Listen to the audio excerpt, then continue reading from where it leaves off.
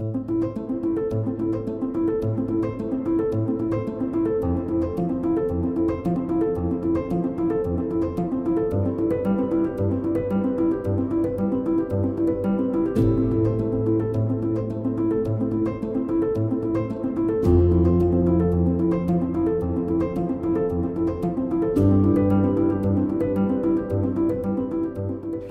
Likhona Hina. I grew up in a small town, which is rural, called Paterson, right here in the Eastern Cape.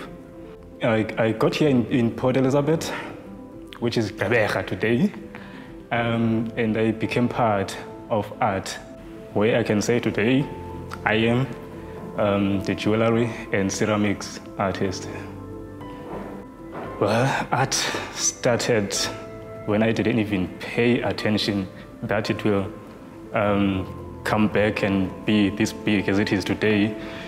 It is the way of expression, the way of joy, the way of making people understand things that you cannot uh, make verbally.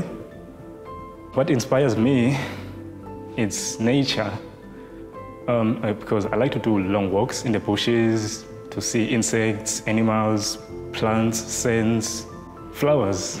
So that's the things that I admire the most.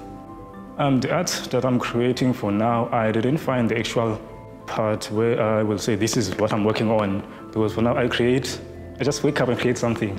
That's my passion. I'm doing from sculpting, from creating um, vases. The only idea that I like to do is to just create something out of nature. That's why, because I, I, I, I am inspired by nature. Africa influences my work. Mostly I like to embrace my culture, the story behind the things that we're doing in my culture here in Africa. I chose ceramics because it is the type of therapy or the form of meditation where you make people understand things that you can do verbally. We have to show or teach the children or the new coming generation about our culture. Maybe one day we're not going to be here, so they have to see through ceramics and see the sculptures, see the story, everything through that.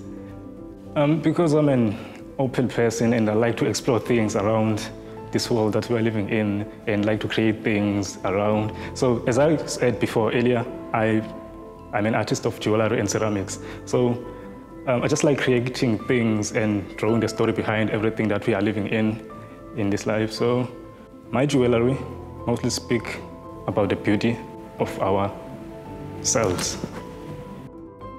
My biggest influences, it is the life that I'm living currently and the life that I've been through before in this environment, my childhood and other artists. Ludwe, Ludwe Mgolombane, when I got here in PE, I was exposed in his artworks around the galleries and museums.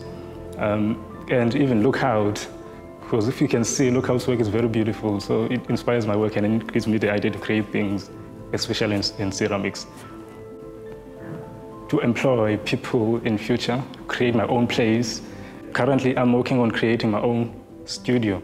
So I was hoping at least maybe at the end of this year, I'll be finished with the half of my jewelry studio, and then I will carry on with the ceramic studio. That's my goal about all of this, what I'm doing here in art, bring jobs. Because when you start to create a product, you melt jewelry, and then after melting, you roll it. Flat rolling or square rolling, depends on what you're gonna create, but mostly I like to create things that's um, chains, making jewelry, so I will be rolling it to create a wire. Um, first of all, I would like to say my art speaks two languages. It speaks the story that you see on the product, and then it's, there's the other story that is hidden, it's not there, which is the story that I'm going through by the time I'm, pro I'm producing the product.